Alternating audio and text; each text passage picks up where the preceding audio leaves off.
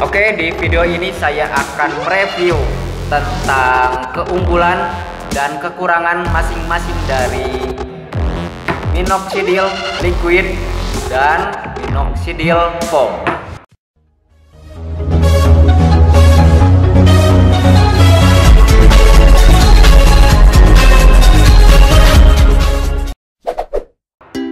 Oke, saya mulai dari minoxidil liquid dulu.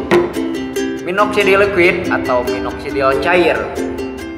Keunggulannya adalah dari segi harga itu lebih murah dibandingkan dengan minoxidil foam.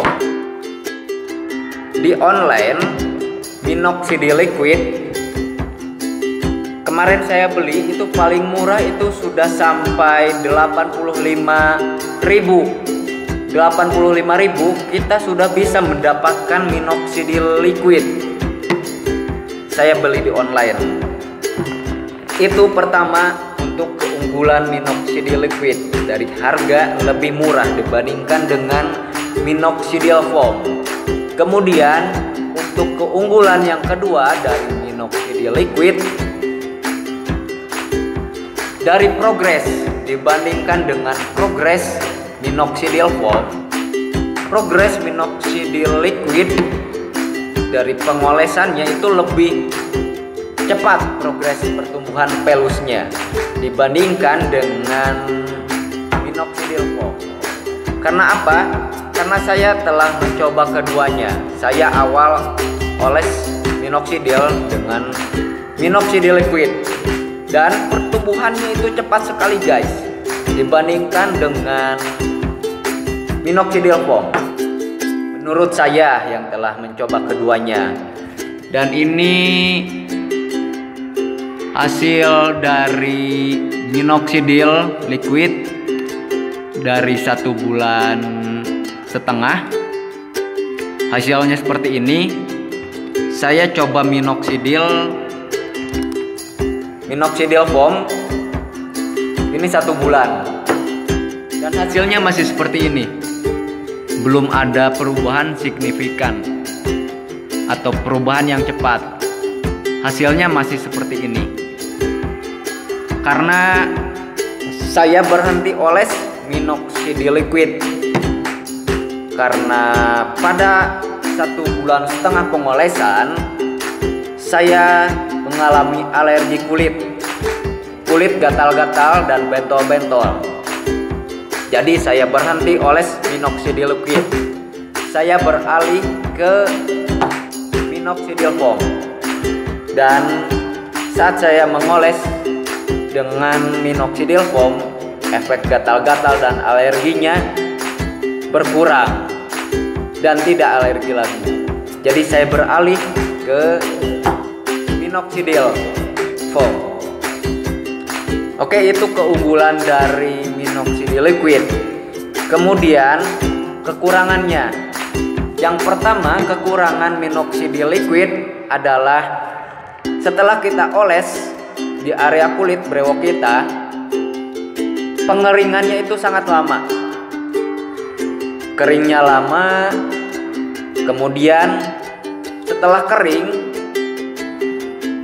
di area kulit brewok kita kulit akan mengering dan bahkan akan mengerak seperti ketombe. Rata-rata pemakai minoxidil liquid mengalami hal seperti itu. Yang pertama lama dalam pengeringannya. Yang kedua, setelah kering, minoxidil liquid akan mengering dan berkerak pada kulit kita. Oke, kemudian kita ke minoxidil foam. Pertama, keunggulannya minoxidil foam pada saat kita oles akan cepat kering, guys.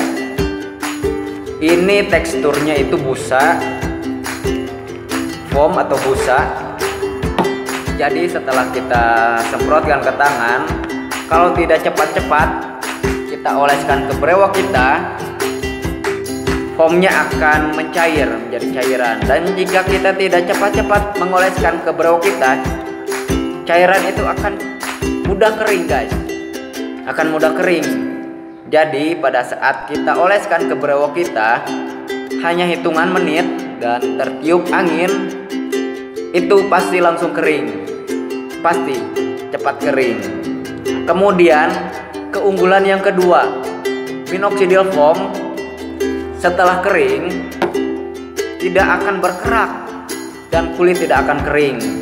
Jadi, jika kalian menggunakan minoxidil foam, kalian tidak akan mengalami kulit kering atau kulit berkerak seperti ketombe. Itu keunggulannya. Kemudian, kekurangannya dari segi harga. Dari segi harga, minoxidil foam lebih mahal dibandingkan dengan minoxidil liquid.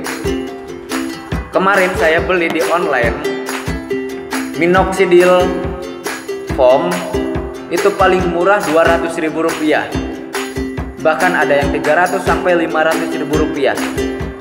Ini yang paling murah saya beli 200 ribu rupiah. Ini bisa dua kali lipatnya dari minoxidil liquid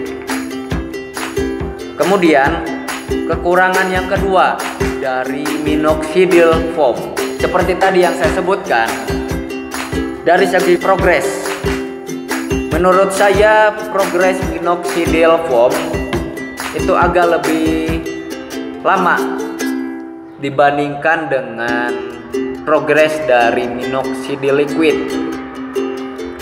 Jadi untuk dari segi progres antara minoxidil liquid dengan minoxidil foam menurut saya progresnya lebih bagus pakai minoxidil liquid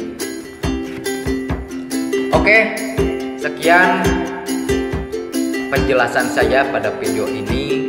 Semoga video ini bermanfaat bagi kalian semua khususnya bagi kalian yang sedang menumbuhkan brewok dan bingung untuk memilih pengolesan minoxidil liquid atau minoxidil foam. Sampai jumpa di video berikutnya.